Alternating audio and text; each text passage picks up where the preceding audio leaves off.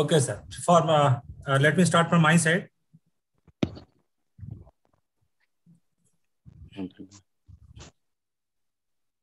Good evening, everybody. Welcome you all to today's webinar.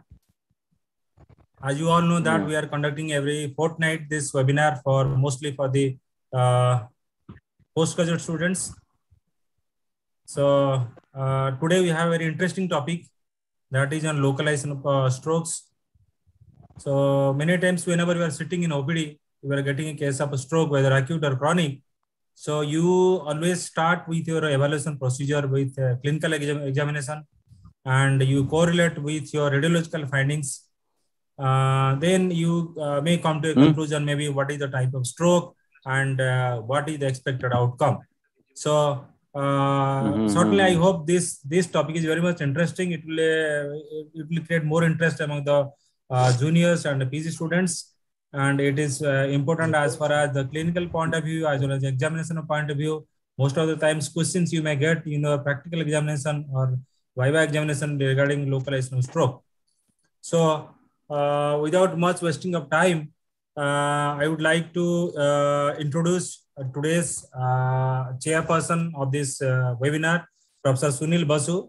He is the ex-professor and head of the department PMR, uh, uh, Calcutta National Medical College. Presently, he is attached with Department of PMR, uh, KPC Medical College. And uh, today's speaker is Professor Ashok Kumar Mallik. He is the uh, professor and head of neurology. He has done his DM neurology from uh, Banaras Hindu University, Varanasi in 2000. And currently he is serving as a professor and head of the department neurology. He is continuing his post since 2012. He has many national and international publications to his credit.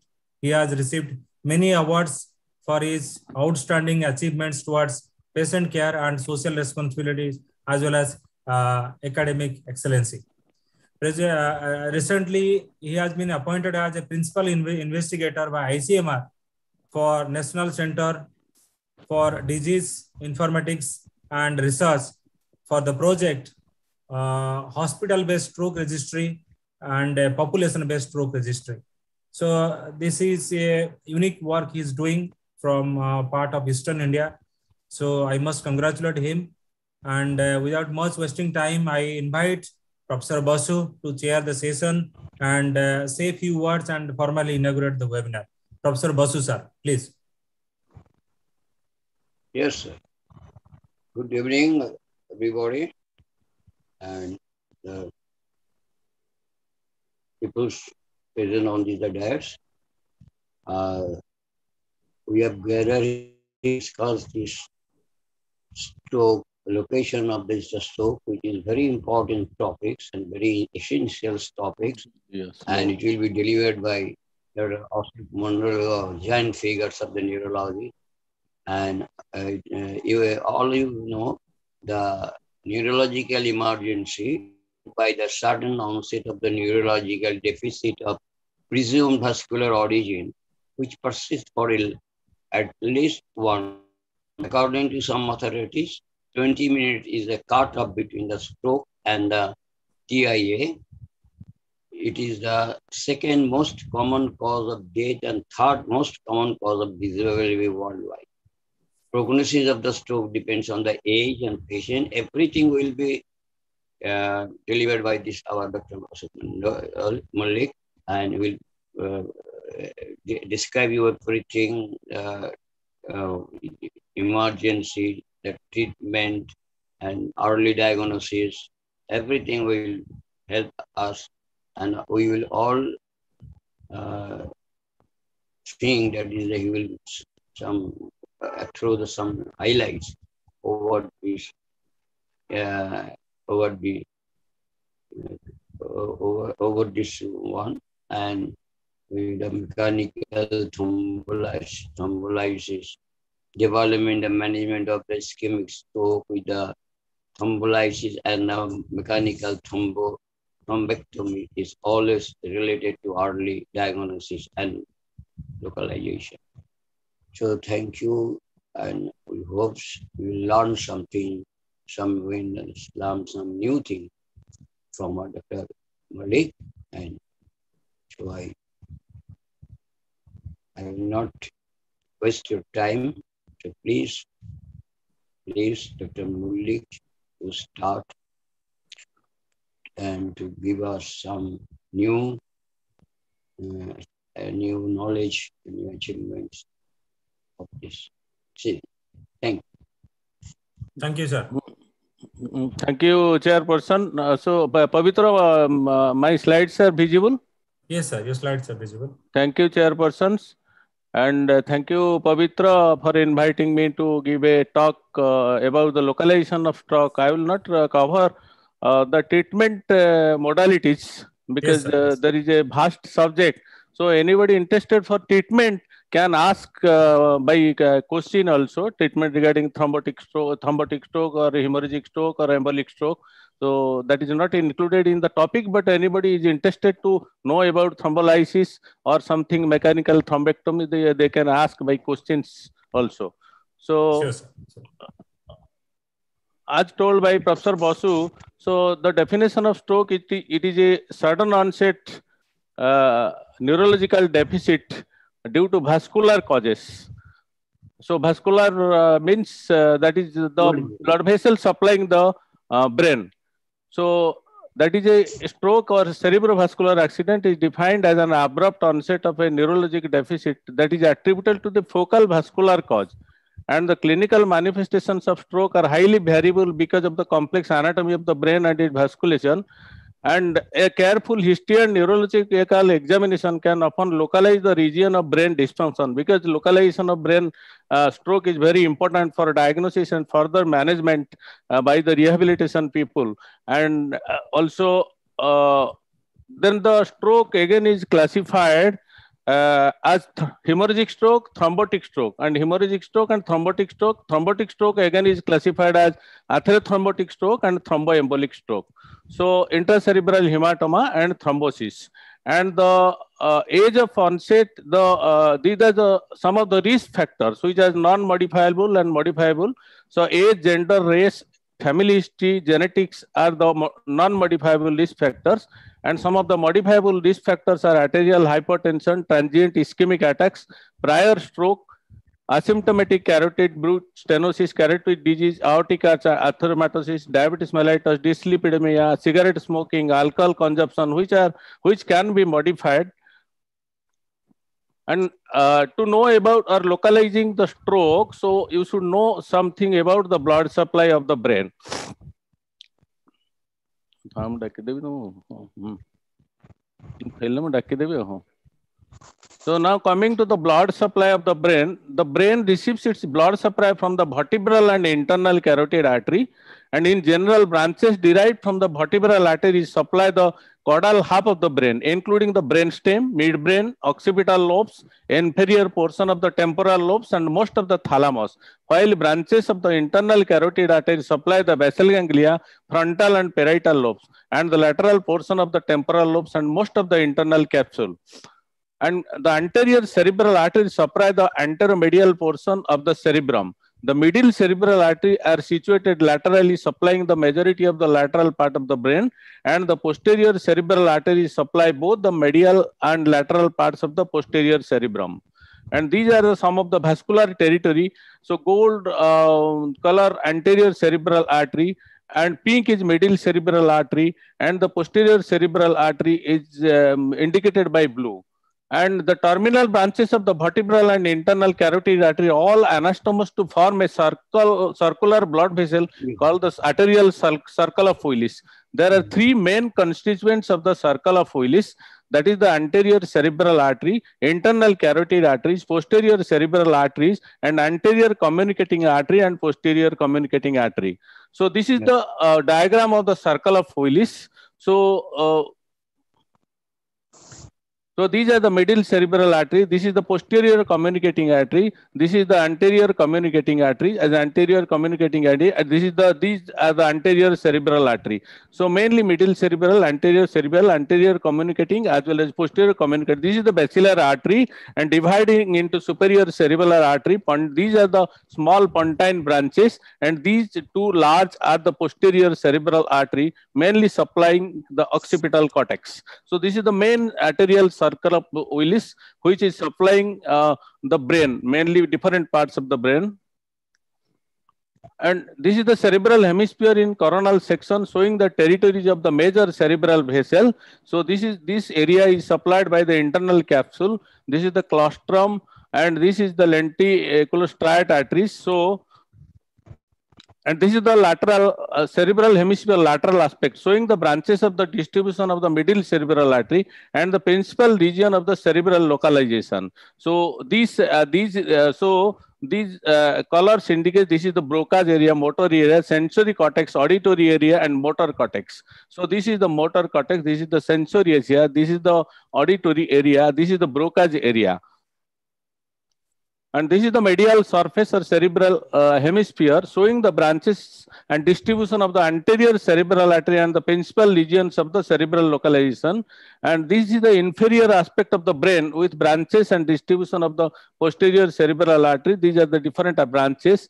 And this is the posterior circulation. So uh, these are the posterior cerebral artery and deep branches of the basilar artery. This is the anterior inferior cerebral artery. and this is the basilar artery, vertebral artery and posterior inferior cerebral artery. So based on symptoms, so now localization. So localization, localization wise, the brain can, so we can localize uh, from different aspects of different types of stroke. Suppose the patient is having a hemorrhagic stroke. So hemorrhagic stroke means there is a rupture of blood vessels. So what happens? The middle cerebral artery is the commonest blood vessel which ruptures. The lenticular striate branches of the middle cerebral artery or perforating branches which are the most vulnerable for rupture and the putamen and globus pallidus are the commonest site of intracerebral hematoma. Why? Because due to chronic hypertension or untreated hypertension, what happens in the tunica intima of the blood vessels, there occurs lipohyalinotic changes and amyloid angiopathy. And these amyloid angiopathies that causes very small, small aneurysms. That is the that is known as Charcot-Bouchard aneurysm. And during stressful activity, this Charcot-Bouchard aneurysms rupture and causes intracerebral hematoma. That is why the perforating branches of the middle cerebral artery are the commonest uh, blood vessels which rupture and putamen and globus pallidus is the commonest blood vessel which ruptures. And blood, uh, when there occurs a blood clot or hematoma in the internal capsules or basal ganglia, so there occurs contralateral hemiplegia and there occurs also facial nerve or facial involvement that is upper motor neuron type because the facial uh, nerve nucleus is situated in the pons. So anything above the pons that gives rise to upper motor neuron symptoms or pyramidal tract involvement. So uh, basically, uh, if you start the uh, pathway of the pyramidal tract, the pyramidal tract starts from the area 4 and 6 and the motor cortex, then it comes to the internal capsule via corona radiata. Then from the internal capsule, it comes to the midbrain and pons. And in the lower part of the medulla, more than 85% fibers crosses to the opposite side as lateral corticospinal tract. And about 15% fibers descend downwards as ventral corticospinal tract. And starting from the area 4 and 6, and the motor cortex, the pyramidal fibers end at the level of um, um, anterior horn cell of the spinal cord. The pyramidal cortex starts from pyramid, starting from the pyramidal cortex to the anterior horn cell that is known as the upper motor neuron. And from the anterior horn cell downwards to the muscle, it is the lower motor neuron. So in hemiplegia, the, there occurs involvement of the upper motor neuron fibers or pyramidal fibers along with the cranial nerve nucleus also. The cranial nerve nucleus also starts from the area 4 and 6 and motor uh, cortex to the cranial nerve nucleus that is known as the upper motor neuron fibers or corticobulbar fibers. That is why in any patients of hemiplegia, the upper motor neuron facial pseudobulbar involvement, bulbar involvement is very common. So classical hemiplegia, when you call it a classical hemiplegia, when there occurs contralateral hemiplegia along with the contralateral facial upper motor neuron, so that is the classical hemiplegia. Usually the teaching is the lesion is in the side of internal capsule. And if suppose a there occurs a facial nerve lower motor neuron at the pons and the contralateral hemiplegia that is known as the um, crossed hemiplegia. So the site of lesion is in the pons. So that is why anything in the internal capsule, basal ganglia that causes uh, hemorrhage or in, usually you describe hemorrhage in terms of the structures and the infarct or thrombosis as arterial territory. That is why anything basal ganglia hematoma may occur at any site. Suppose there is a lobar hematoma, any lobe like parietal lobe, occipital lobe, temporal lobe, frontal lobe hematoma may occur. So lobar hematoma does not give rise to usually hemiplegia.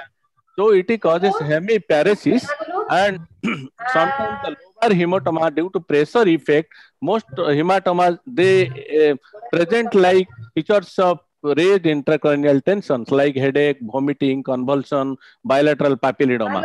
So lobar hematoma. Suppose a patient develop a cerebellar hematoma. Suppose the patient uh, uh, having a hematoma in the left cerebellar hemisphere. So that gives ipsilateral symptoms because cerebellar has ipsilateral supply. So patient will have features of incoordination like finger nose incoordination, titubation, nystagmus, Neal test positive, dysdiadochokinesia, ataxia, swing towards late. So cerebellar hematoma, uh, you can diagnose by if the patient having hypertension, diabetes, hyperlipidemia presents with sudden onset incoordination, vertigo, vomiting, dizziness, then you suspect always the patient is having a cerebellar hematoma. Suppose a patient having uh, developed a sudden onset unilateral sensory symptoms like tingling, numbness, burning associated Sir, with... sir, your slides are not running.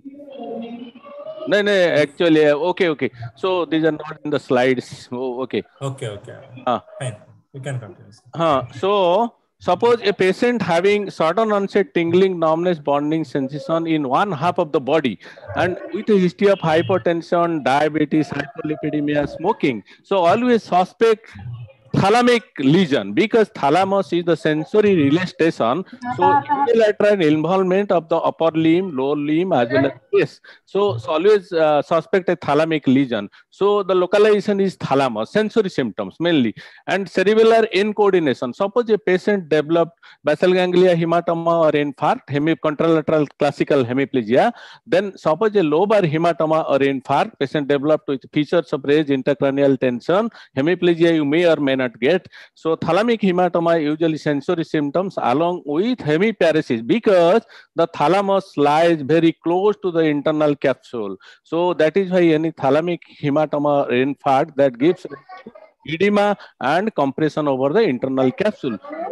Hematoma diagnosis and uh, localization is very easy. Suppose the patient is having a pontine lesion. So 4P pontine hyperpyrexia, patient will hyperpyrexia, pinpoint pupil. So these are the symptoms. Uh, suppose the midbrain and uh, um, uh, midbrain hematoma. So midbrain is a very uh, compact structure. The pyramidal fibers are very compactly arranged in midbrain. So patient may have quadriparesis and other cranial nerve involvement because the forebrain contains cranial nerve 1 and 2, midbrain uh, 3 and 4, then pons 5, 6, 7, 8 cranial nerves and medulla is 9, 10, 11, 12. Accordingly, you will get also cranial nerve symptoms. So medulla, because the, all the vital centers are situated in the medulla, you will get along with cranial nerves, patient may have hemiplegia, may have quadriplegia or quadriparesis. Then the patient will die um, um, and prognosis is very poor um, um, um, because all the vital centers are situated in medulla like cardiac center, respiratory centers and patient will be comatose due to activation of the uh, reticular activating system. So accordingly, by you can also localize the lesions, but the main lesion, the main difficulty lies if the patient is having arterial territory infarct. So so cortical lesion, focal seizure, aphasia does not produce hemiplegia. Patient may have hemiparesis and uh, you may have cortical type of sensory loss like graphesthesia, two-point discrimination. These are the cortical type of sensory loss. Then uh, if you come to the corona radiata, one limb more involved than the other, then you will have cortical sensory loss and no cortical, you may not have any cortical signs. And internal capsule, dense hemiplegia, because internal capsule, the pyramidal fibers are densely placed. So when the internal capsule, anterior limb, genu and posterior limb will be involved, you may have dense hemiplegia and patient may have visual disturbance like homonymous hemianopia and hemianesthesia. So thalamus contralateral hemisensory loss with agonizing or burning pain, that is the Dejerine-Roussy syndrome. Then brainstem, midbrain, Weber syndrome, ipsilateral third cranial nerve palsy with contralateral hemiplegia, midbrain. And Claude syndrome, that is ipsilateral third nerve palsy with contralateral ataxia. Then Pons, pinpoint pupil, gaze palsy because gaze centers or medial longitudinal fasciculus are uh, between the third, fourth, sixth cranial nerve. So gaze palsy, either, either you may have horizontal gaze palsy or vertical gaze palsy.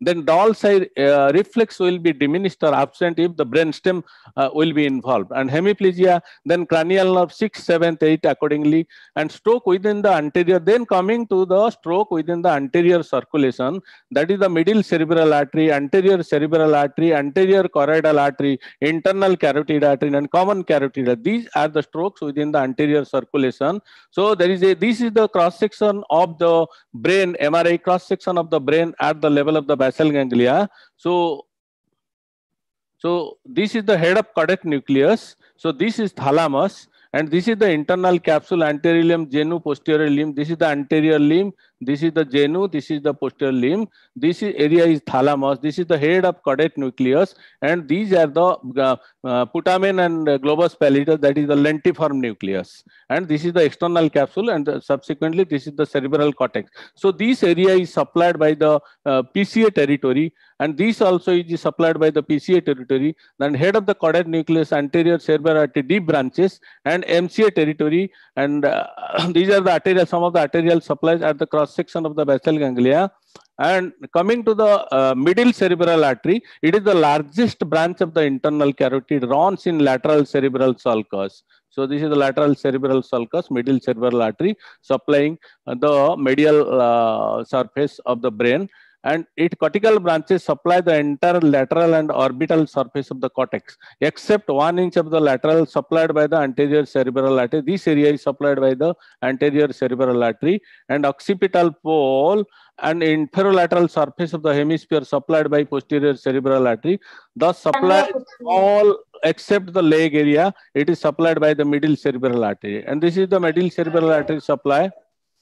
Then uh, coming to the occlusion, how the occlusion, so thrombotic, uh, what happens when there occurs a thrombus, it occludes uh, different parts of the cerebral artery like anterior cerebral artery, middle cerebral artery, posterior cerebral artery, which areas are mostly involved in thrombus. So they are involved. There is no definite cause, but, but the middle cerebral artery are most commonly involved in stroke. And uh, what happens in stem occlusion? So there occurs contralateral hemiplegia, contralateral hemianesthesia, homonymous hemianopia, conjugate gaze palsy, and dysarthria due to facial weakness. So mainly dysarthria, when a stroke patient develop dysarthria, that may be due to facial nerve involvement, facial paralysis or bulbar involvement. So otherwise the patients of aphasia have different types of uh, problems. So dysarthria patients usually always have some facial nerve involvement, bulbar or pseudobulbar involvement. Bulbar or pseudobulbar involvement may be due to involvement of the ninth and tenth cranial nerve. Pseudobulbar is upper motor neuron, bulbar is lower motor neuron. And if the dominant hemisphere, so in most of the um, persons having dominant in the left side of the brain, dominant hemisphere, the patient developed global aphasia, that is both motor and sensory aphasia. And non-dominant, that is the patient will have apraxia and distal branches, weakness of the hand, weakness of hand and arm, facial weakness is Broca's aphasia. If the superior division of the middle cerebral artery is involved, then motor and sensory and Broca's aphasia, frontal and superior parietal cortex will be involved. And if the inferior division is involved, patient developed Wernicke's aphasia, that is the sensory aphasia, inferior parietal and temporal cortex, that is supplies the middle cerebral artery. So, This is the thromboembolic lesion of the right middle cerebral artery. So this is the lesion of the right hemisphere.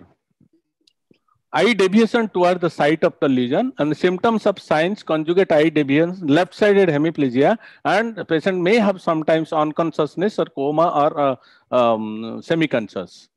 So this is the MRI picture of a infarct.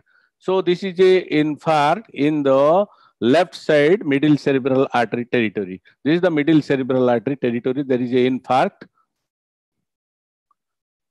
Then coming uh, something about aphasia. So Broca's aphasia, that is a Broca's aphasia uh, means motor aphasia. So that is a non-fluent expressive motor anterior uh, peri, uh, pre-Rolandic executive aphasia. The most common etiology is infarct in the territory of the left middle cerebral artery, that is the dominant hemisphere superior division and patients have labored on uh, uh, inflated non-fluent spontaneous speech with a decreased amount of linguistic output, few words, short sentences and poor grammar. It is due to lesion involving the anterior perisylvian speech areas in the posterior inferior uh, frontal region. Then, uh, so uh, coming to Wernicke's aphasia, the most common etiology fact in the left MCA inferior division territory. Patients are unable to understand speech. That is the comprehension. That is known as comprehension is very poor. Patient will not, what you are telling patient will not able to receive.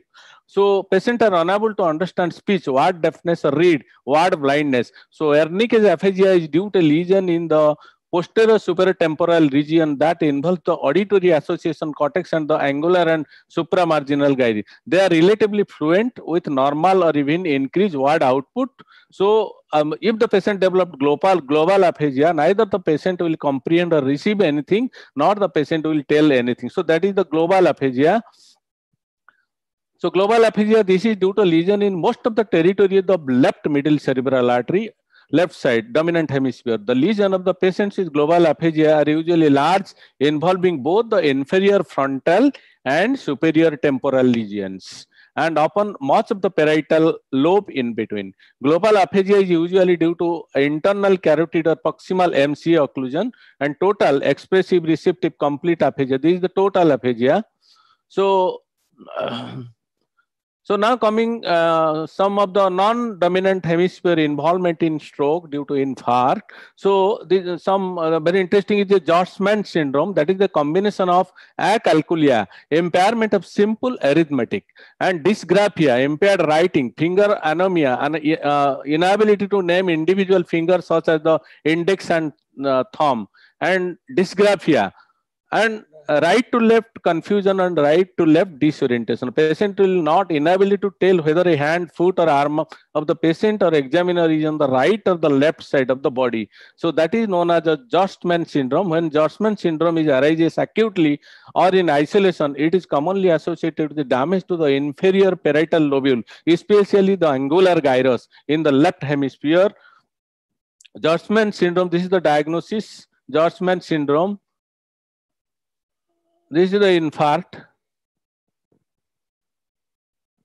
Then coming to the anterior cerebral artery, it is less common stroke, feeds the inferior part, deep brain structures, frontal and parietal lobes, corpus callosum, and bottom of the cerebrum. So weakness and sensory loss, contralateral leg, mainly leg area is involved. And it is clumsy, slow and initiate response, apathy, mute, frontal lobe lesions are apathy, patient will have apathy, mute, short-term memory loss, impulsivity, lack of concentration, incontinence. So, and uh, some of the frontal lobe signs may be incontinence of the urine you may get.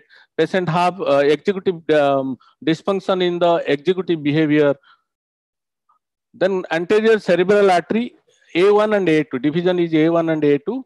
So uh, A1, when A1 occlusion occurs, no loss due to collateral through the anterior because most of the anterior part is supplied by the collateral through anterior communicating, communicating artery. That is why A1 uh, occlusion does not cause any neurological deficit. And A2 occlusion, paralysis of the contralateral leg, less degree paresis, contralateral arm. So leg area is affected more than the arm and cortical type of sensory loss of the lower limb and patient will have urinary incontinence. So that is sometimes known as social incontinence if the frontal lobe is involved and uninhibited bladder. So this is the front ACA infarct. Then uh, coming to the anterior choroidal artery infarct arises from internal carotid artery. It is supplies the posterior limb of the internal capsule occlusion and contralateral hemiplegia, hemianesthesia and homonymous hemianopia then stroke within posterior circulation. So that is mainly supplied by the posterior cerebral artery. That is loss of vision, mainly loss of vision in the that is the cortical type of blindness. So patient or pupillary reaction will be normal. That is not due to pupillary involvement. So cortical involvement. So so so to differentiate between the cortical blindness and blindness due to optic nerve, if you examine the pupillary reaction, the pupillary reaction will be dilated, pupil will be dilated in optic nerve involvement, a reaction will be sluggish, and in cortical involvement, patient will be blind, but the pupil reaction will be normal. So that is a stroke within posterior circulation, posterior cerebral artery. These are the posterior cerebral artery, vertebral and posterior inferior cerebellar artery, then basilar artery. So posterior cerebral artery, 5 to 10% of the stroke. So uh, then P1 syndrome, posterior cerebral P1 syndrome that uh, causes contralateral hemiplegia and third nerve involvement. That is the Weber syndrome and contralateral ataxia plus third nerve palsy that is Claude syndrome. And contralateral hemisensory loss followed by agonizing pain in the affected area that is the thalamic Dejerine-Roussy syndrome. And P2 syndrome is contralateral homonymous hemianopia with macular sparing. This is the posterior circulation stroke or posterior circulation infarct in the occipital lobe mainly occipital lobe PCA infarct then uh, what is Anton syndrome? That is a very interesting syndrome. That is called uh, visual anosognosia or denial of loss of vision. The patient will tell that uh, I will not um, complain of loss of vision which is associated with confabulation in the setting of obvious visual loss and cortical blindness is known as Anton syndrome. So bilateral occipital lobe damage. So this is the bilateral infarct. This is a CT scan. This is the plane axial section of the plane CT scan. This is the midbrain and these are the occipital lobe. So there is a bilateral, see this is the tentorium cerebelli. This white is the tentorium, this is the falx cerebri and this is bilateral occipital infarct. So hypodense, bilateral occipital hypodense means infarct. The Hounsfield unit must be between plus 25 to plus 35. So to differentiate between uh, infarct and uh, CSF sometimes causes uh, some problem, but the if you ask the CT scan people, that is the attenuation value, the infarct will be plus 25 to plus 35 and CSF and any uh, fluid or liquid will be minus. So this is the occipital lobe infarct, bilateral. Then coming to the most interesting medial and lateral medullary syndrome. So these are the supply. This is the supply of the so um, uh, medial and lateral medullary syndrome. The clinical features of the lateral medullary syndromes are mainly it is involvement of the posterior inferior cerebellar artery that is known as lateral medullary syndrome or Wallenberg syndrome. And medial medullary syndrome, this is the involvement of the anterior spinal artery. So Uh, the causes of in, so the clinical symptoms clinical features will be involvement of the inferior cerebellar peduncle that causes ipsilateral limb ataxia same side limb ataxia. Involvement of the vestibular nuclei causes vertigo nausea vomiting nystagmus. So nucleus ambiguus, that is the cranial nerve 9th 10th and 11th that causes ipsilateral paralysis of the larynx, pharynx, palate, and dysarthria, dysphagia, loss of gag reflex, and that sometimes causes hoarseness of voice, and spinal tract of the trigeminal nerve that causes ipsilateral pain and temperature loss in the face. So trigeminal. Then spinothalamic tract involvement, that is contralateral pain, temperature loss, body.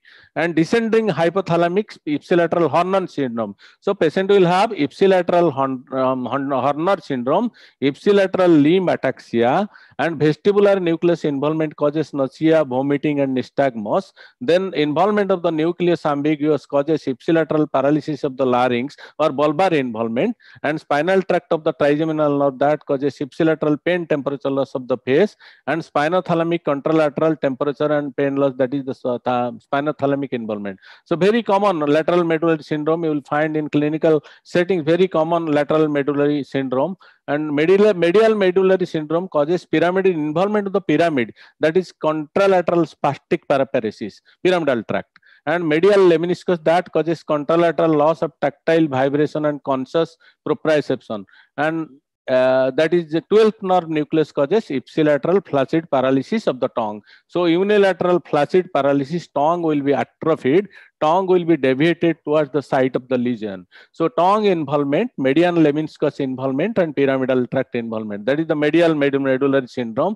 So this is the vertebral uh, and uh, and posterior inferior cerebellar artery that causes lateral medullary syndrome. That is Wallenberg syndrome these are the different areas that uh, that is different parts of the brain involved so spinal tract of the trigeminal nucleus fifth nerve nucleus nucleus ambiguus spinothalamic tract vestibular nucleus then uh, nucleus solitarius uh, um, as already told, lateral uh, symptoms and signs of um, lateral medullary as well as medial uh, medullary syndrome. Then coming to the basilar artery, it is supply base of the pons and superior cerebellum and fall into three groups paramedian group, short circumferential group, and superior cerebellar and anterior inferior cerebellar uh, arteries.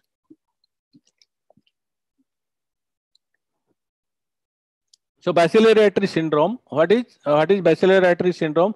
That is due to complete occlusion of the basilar artery by atheromatous plaque or thrombus. So bilateral long tract signs, sensory and motor, signs of cranial nerve and cerebellar dysfunction, basilar artery. And occlusion of a branch that causes unilateral motor and sensory signs and cranial nerves. So if there occurs complete occlusion, you will find bilateral findings. And if there is a occlusion of a branch of the basilar artery, you will find unilateral findings. Then some of the there is some of the uh, uh, uh, pontine syndromes that causes superior pontine, that is the medial superior pontine syndrome or paramedian branches of the upper basilar artery. So one side of lesion, you will get cerebellar ataxia, internuclear ophthalmoplegia, myoclonic syndromes, palate, pharynx, vocal cords, respiratory apparatus, face, oculomotor apparatus. One side opposite the lesion will be, have, have paralysis of face, arm and leg. Rarely touch, vibration and position are affected and lateral superior pontine syndromes on the side of the lesion, ataxia, limb, and gait. So very difficult to remember these things, but accordingly, if you remember the structure of the brain, then you can localize. Then mid-pontine syndromes, then then coming to the summary of the involvement of the different arterial territory. So vascular territory, mainly internal uh, carotid artery territory, there will be hemiparesis, aphasia, and hemianopia and anterior cerebral artery hemiparesis, especially the uh, lower limbs.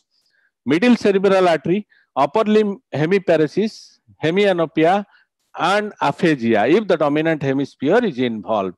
And posterior cerebral artery hemiparesis, sometimes you will have hemiparesis, hemi visual loss, hemianopia, uh, ataxia due to involvement of the cerebellum and vermis, and dizziness, vertigo, sorry,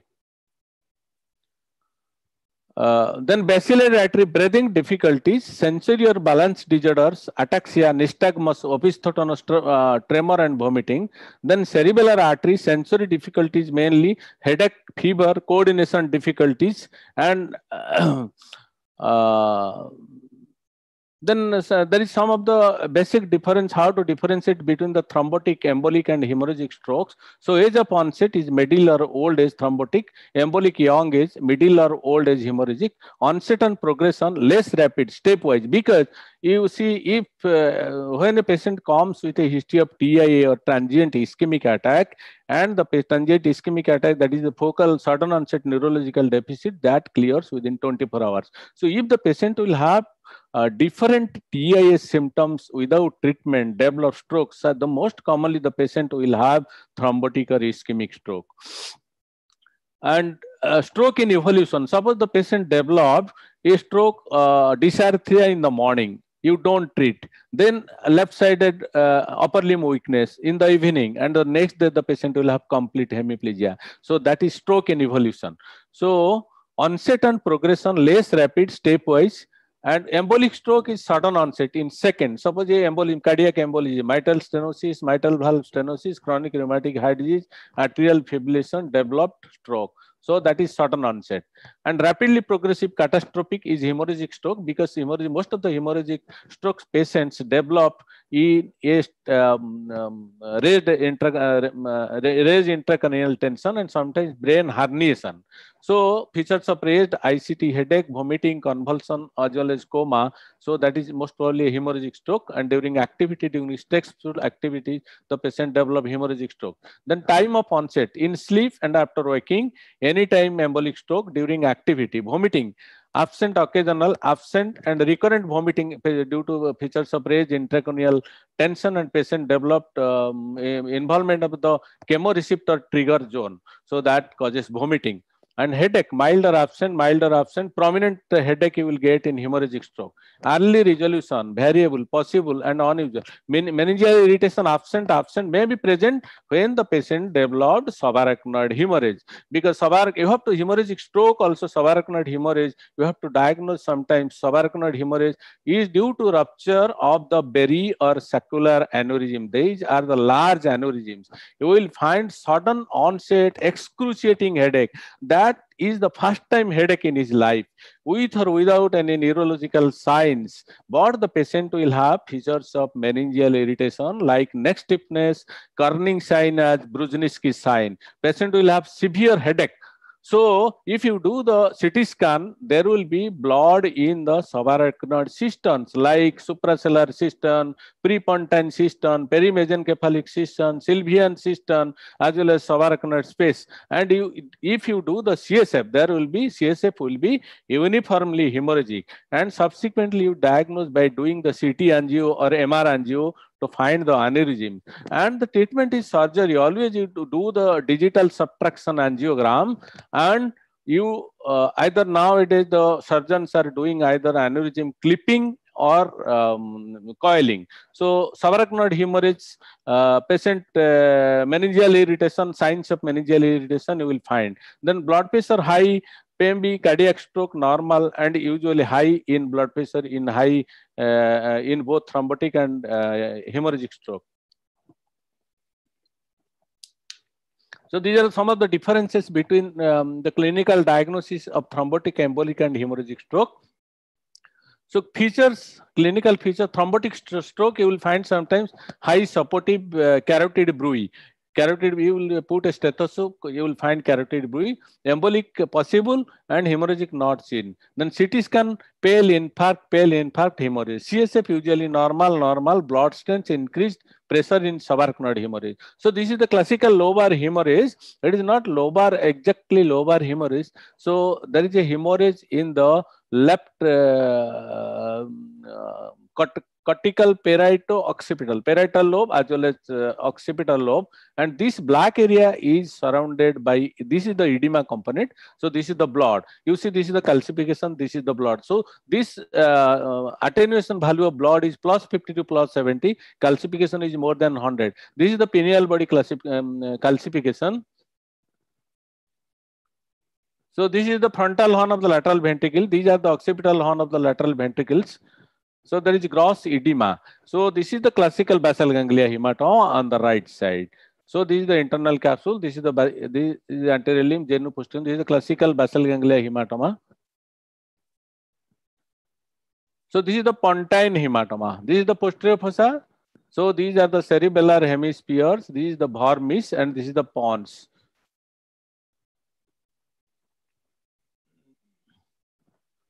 So uh, hematoma uh, uh, localization is uh, not difficult. Uh, by history, if you have the features of raised intracranial tension, headache, vomiting, and during activity, so that must be a, a hematoma.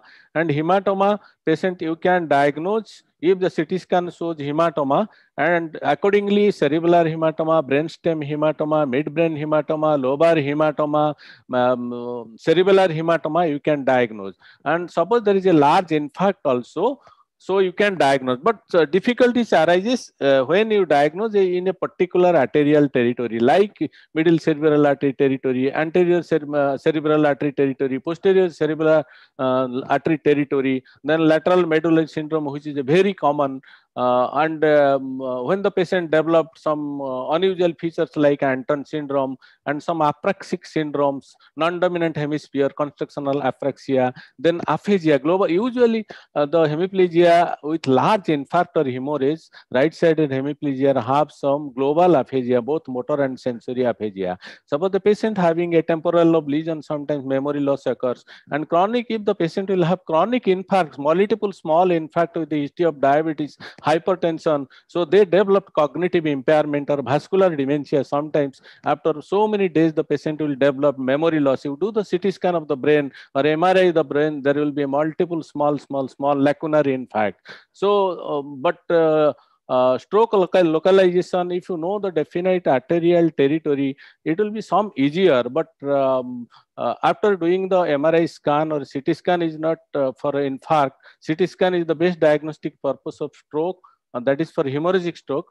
But for small infarct, lacunar infarct, or silent infarct, so MRI is the most uh, um, uh, probable diagnostic uh, procedure by which you can uh, diagnose because the diagnosis is very important in thrombotic stroke. If the golden period, the patient presents within the golden period, that is the four and a half hours, that is the golden or window period. So ischemic core and penumbra are there. So to salvage the ischemic penumbra, the golden period is very important because within that period, if you do the thrombolytic therapy by recombinant tissue plasminogen activ activator, the patient's life will be saved and the disability will be less. So localization is very important and uh, this is stroke is a very vast chapter. So Dr. Pavitra has uh, uh, told me to tell about the localization. Um, uh, we'll uh, discuss the um, therapeutic approach in some other classes.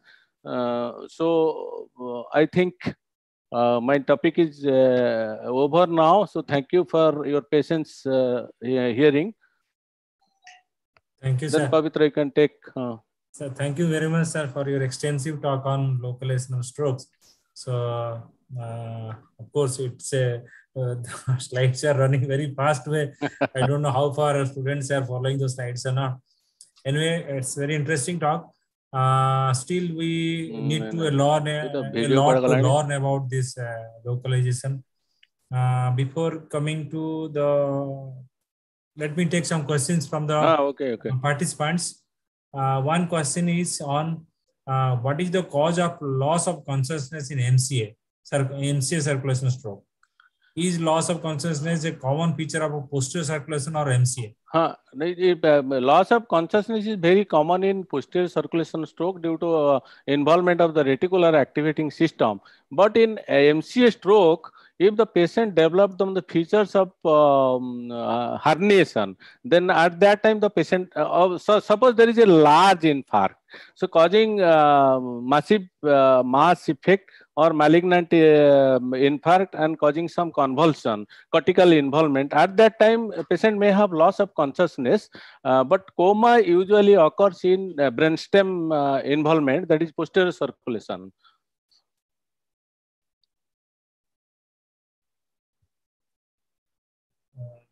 So far, no more question. Sir, do you have any experience of, uh, of uh, uh, stroke with spinal cord injury?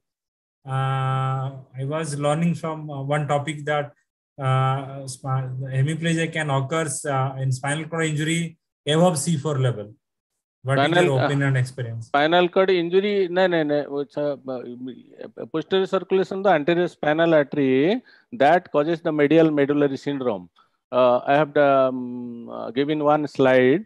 The medial medullary syndrome uh, may be due to involvement of the anterior spinal artery, anterior spinal artery. So that I think if there occurs injury to the spinal cord, there may be involvement of the anterior spinal artery and cause medial medullary syndrome. That is the cause of maybe the cause of stroke. Otherwise, there is no definite uh, relationship between uh, spinal injury and stroke. Uh, if uh, anything you know, you can enlighten us.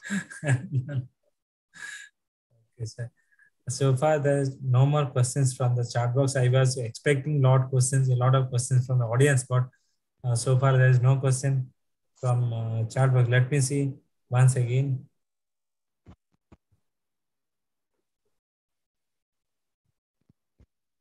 Uh, Professor Sunil Basu, sir, uh, do you have any comments on this uh, presentation, sir? or you want to add anything to this? It is very excellent uh, lecture, and we have earned some learning, some sides of this uh, involvement due to the, some sides stroke. I'm very, very happy. Thank you, sir. So if there is no more question in the chat box, then probably we'll have to uh, wind up the session. Uh, on behalf of Association of Physical Medicine Rehabilitation and Department of PMR SVNIRTAR, Indian Association of Physical Medicine Rehabilitation, I thank uh, Dr. Ashok Kumar Mallik sir. Uh, he has accepted my invest invitation in uh, single request. So thank you very much, sir. You spent your valuable time for enlightening us regarding stroke. I hope uh, some more lectures from your side, from your department, on Okay. other aspect of stroke and other part of the neurological aspect disease, which uh, in which the PMR specialists are related. So I expect uh, cooperation from your side, sir. Thank you very much for joining and enlightening us. And uh, I must thank uh, Dr. Sunil Kumar Basu, sir, uh, for giving his consent for chairing the session. I thank all participants who have joined this webinar through Zoom or through YouTube mode also. Uh, my special thanks to uh, all the office bearers of uh, Association of Physical Medicine Rehabilitation and Indian Association of Physical Medicine Rehabilitation, as well as the PR team of uh, IAPMR. Uh, I must thank all my uh, juniors of my department, all PG students, who, those who are supporting this webinar. And uh, uh, last not uh, the least, but not the least, I must thank the PR team who is greatly supporting us for conducting this webinar. Before leaving this, sir, there are now two, two questions come up. Can, Yeah, okay, can we okay, take no those problem. two questions? Ah, ah, ah, okay, no problem. Ah. Okay. So, can you please comment on automa- autonomic symptoms associated with uh, stroke? Uh, autonomic uh, symptoms associated with stroke. Stroke. नहीं basically autonomic symptoms specifically not described in any type of vascular territorial stroke because the autonomic are cranio sacral are thoracic lumbar so autonomic symptoms are mainly due to some of the autoimmune disorders and peripheral nerve involvement but uh, we usually don't uh, find any autonomic basic generally autonomic symptoms and signs. So so patient may have tachycardia bradycardia hypertension hypotension uh, increased sweating um, bladder um, involvement so postural hypotension. So suppose the stroke patient patient may have some postural hypertension due to drug.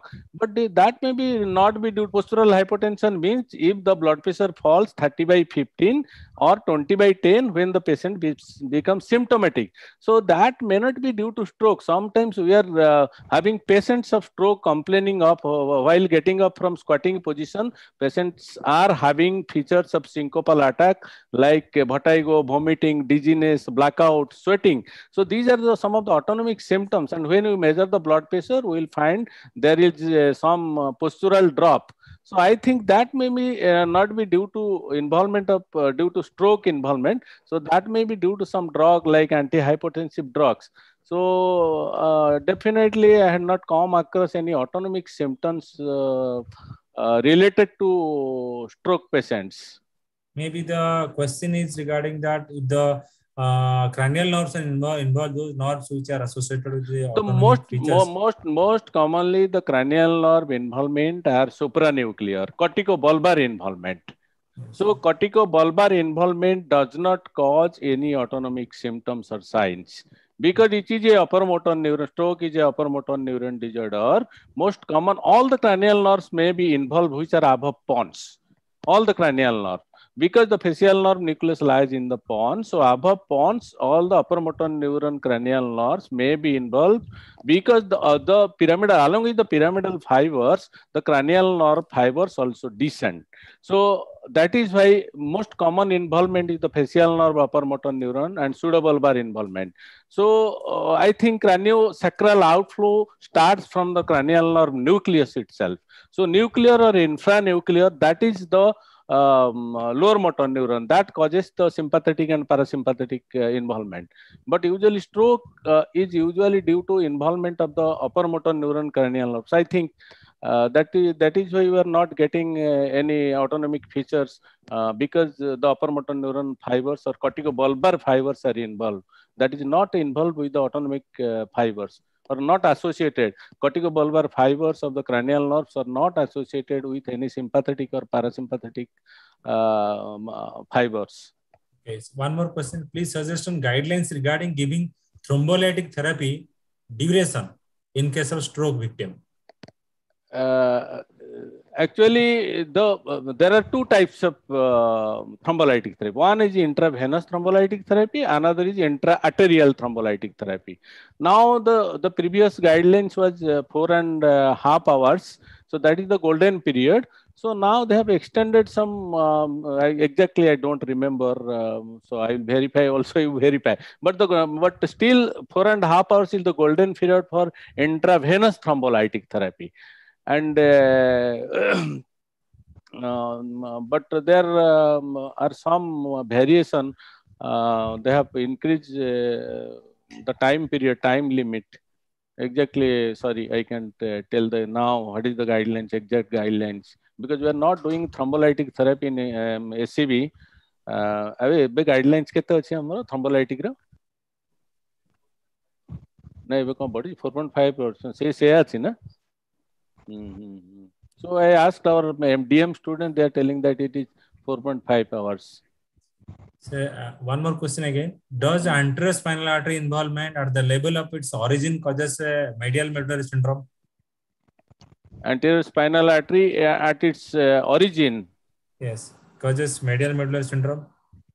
Oh, yes, involvement of the anterior spinal artery causes medial medullary syndrome. No, medullary. Uh, now, how stroke is related to spinal cord injury? What is it? I am asking my DM students who are the final year. Exactly, I am not clear. Huh? Huh? No, spinal cord injury is related to stroke. No. no. Okay, no, no, no. Okay, sir. One another ah, second part of the ah. question is the level of involvement anterior artery responsible for UMN and LMN pictures whether the level of involvement uh-huh. of artery responsible for UMN and LMN pictures? Level of involvement of the anterior spinal artery uh, responsible for either UMN or LMN pictures. Anterior, Is there in relation to that?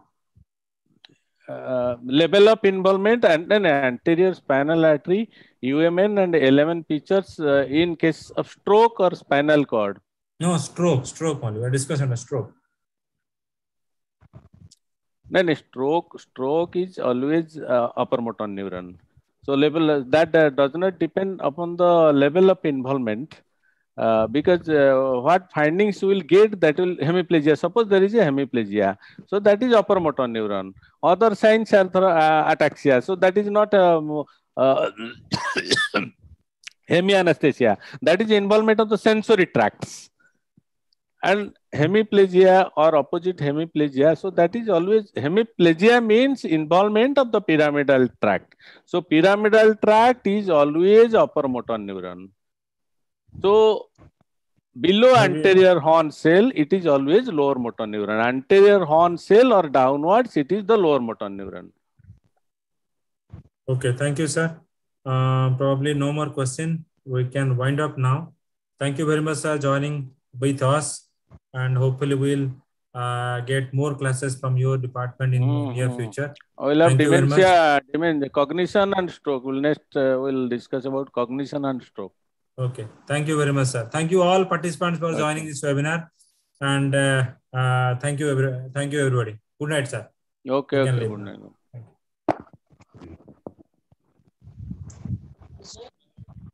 you.